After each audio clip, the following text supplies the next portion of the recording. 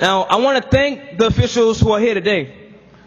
I appreciate you coming and listening to our stories so that you really get a sense of our experiences. We are the future voters, and we, we want to be heard.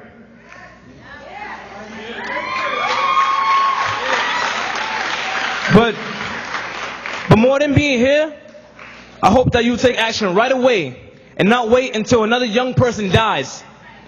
Give urban youth the opportunities we deserve.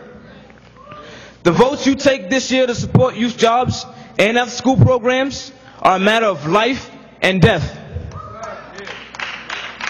Your support, your support is a meaningful way to show that you care about us, understand our needs, and are willing to do what it takes to support us. Please don't let us down. Thank you.